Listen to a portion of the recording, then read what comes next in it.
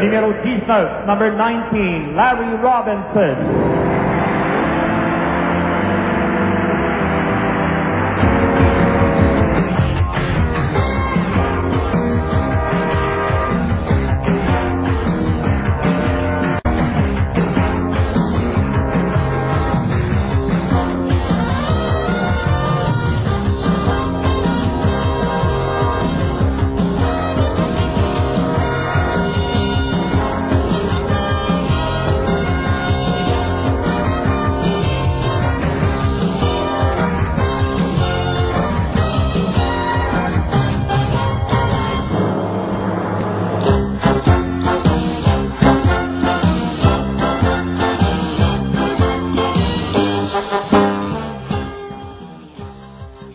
When Larry Robinson checked Gary Dornhoefer, the hardest check I have ever seen.